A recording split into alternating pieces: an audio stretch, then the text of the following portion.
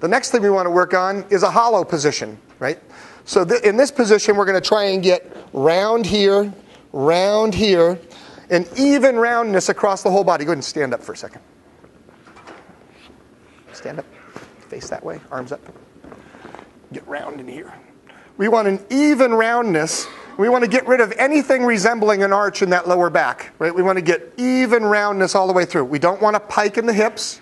We want one line going all the way from the hands to the feet with an even amount of hollow.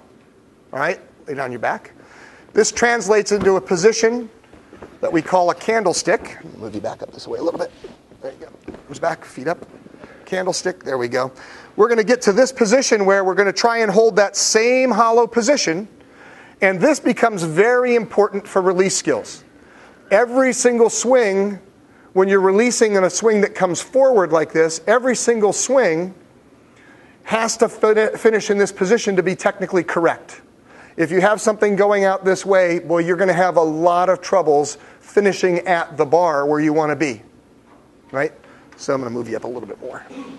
So the most important thing here and the most difficult thing to coach, turn your hands that way, that way, there you go, is that when you're coming up in this position and you're trying to maintain this body line and you got to push back and open up your shoulders, it's a difficult thing to maintain. That's a really nice. I don't know if you guys saw that was beautiful.